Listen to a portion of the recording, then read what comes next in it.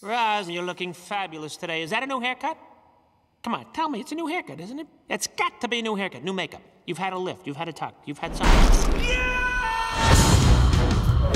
Morning, Sully. Morning, Sully. How you doing, big guy? Hey. Go get him, Mr. Sullivan! Quiet! You're making him lose his focus! Oh no! Sorry! Scary feet, scary feet, scary feet. Oh, the kid's awake! Twins! And a bunk bed!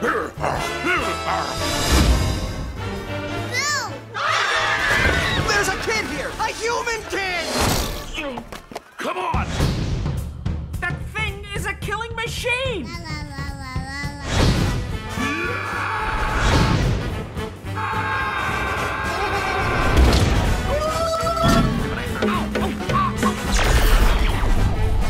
Now is the time to panic!